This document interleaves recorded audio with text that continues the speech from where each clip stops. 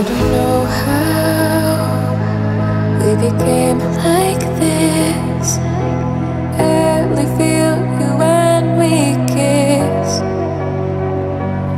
Where do we go now? Been keeping me up all night. Should I move on or try to make?